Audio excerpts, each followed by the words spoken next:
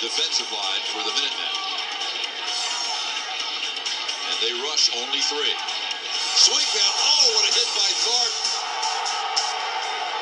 Tharpe timed that perfectly as he.